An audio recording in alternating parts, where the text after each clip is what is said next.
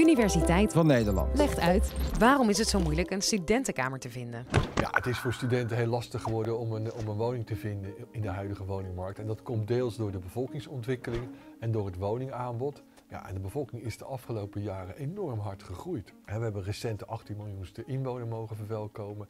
En je ziet het ook in deze grafiek. Hè. Dan zie je dat het vanaf 1995 van 15 miljoen gestegen is naar, ja, naar, naar, naar, nu naar 18. Maar het stijgt ook nog door, er komt nog een miljoen bij. En wat je in deze grafiek ook heel mooi ziet, is dat de voorspellingen iedere keer te laag waren. Dus we dachten dat de bevolking minder hard zou groeien en in werkelijkheid groeide die iedere twee jaar sneller. Ja, en als je dan te weinig woning hebt, heb je een probleem. Nou, die enorme groei van de bevolking die komt vooral door migratie, door arbeidsmigratie. En daarnaast worden huishoudens ook steeds kleiner. Dus je hebt met dezelfde hoeveelheid mensen, heb je gewoon meer woningen nodig. Naast dat de bevolking sterk gegroeid is, zijn er ook steeds minder woningen toegevoegd. En je kunt het heel mooi zien op deze grafiek. Je ziet hier eh, voor 2010, dit is de productie van woningen, ja, zaten we nog op rond 80, 90.000 woningen. Nou, dat is door de economische crisis met name en door overheidsbeleid, is dat helemaal weggezakt. Kun je zien, hè, naar 44.000. Nou is dat wel weer een beetje aan het aantrekken, maar de laatste jaren stabiliseert dat rond de 70.000. En dat is gewoon te weinig om die sterke groei van de bevolking bij te houden. En daardoor hebben we nu een heel fors eh, woningtekort van meer dan 400.000 eh, woningen. En dat gaat de komende twee jaar ook, omdat we minder woningen gaan toevoegen, ook verder oplopen. Maar voor studenten spelen er ook andere factoren die met het aanbod te maken hebben. Je ziet hier alle woningen staan in Nederland. Als ik die nou eens bij elkaar zet, dit is in principe geschikt voor mensen die een woning zoeken. Maar niet voor studenten, want dit zijn voor een belangrijk deel koopwoningen, 60%. En daar komen studenten niet in terecht. Dus je houdt maar een heel klein gedeelte van de woningvoorraad over. Ja, de studenten moeten het dan natuurlijk van de huurwoningen hebben. En daar kun je ook weer een onderverdeling maken. Dus een deel van de woningen, dat is eh, ongeveer 40%, die wordt door particulieren verhuurd. Dat zijn natuurlijk huizen waar kamers verhuurd worden. En een klein deeltje, 5%, dat zijn hospitaverhuur. Toen ik nog studeerde was dat een groot aandeel, maar dat is helemaal weggezakt. Ja, en dan heb je nog een, eh, een deel, ook ongeveer 40 procent.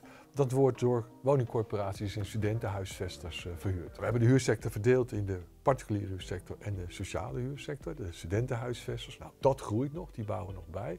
Maar je ziet om een aantal redenen dat die particuliere huursector de laatste jaren onder druk staat. Een van de redenen is eh, de leefbaarheid. Gemeentes maken het moeilijker voor particulieren om die woningen aan te kopen en aan studenten te verhuren, omdat ze gewoon bang zijn dat studenten herrie maken, overlast veroorzaken. En als er dan ook nog eens overbewoning met arbeidsmigranten voorkomt, ja, dan zegt de gemeente ho en dan, ja, dan kun je niet meer die woningen aankopen.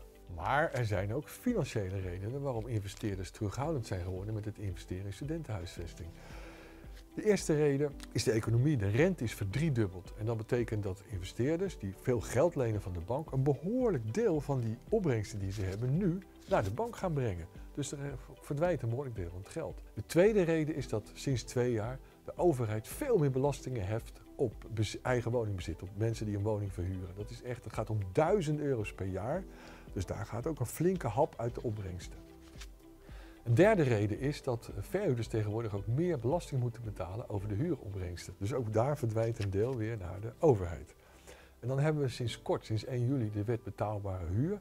En die reguleert heel strak de, de huren die gevraagd mogen worden. En ook dat levert dan in sommige gevallen weer minder huurinkomsten op. Ja, en dan eindig je met heel weinig of zelfs niets. En ja, dat is voor heel veel verhuurders een reden om niet meer te investeren in studentenhuisvesting. Maar je ziet ook dat de afgelopen jaren het aantal studenten in het hoger onderwijs behoorlijk is toegenomen. Dat vraagt natuurlijk ook om meer eh, studentenwoningen. En we zien ook steeds meer buitenlandse studenten. Nou, dat maakt natuurlijk ook dat de vraag naar studentenwoningen is toegenomen.